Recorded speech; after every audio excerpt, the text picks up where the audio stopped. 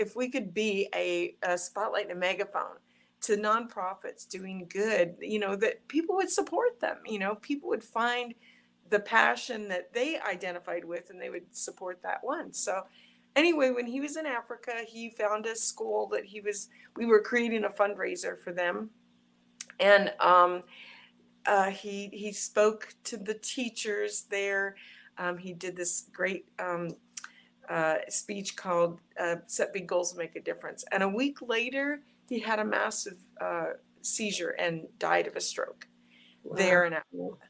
So I flew over.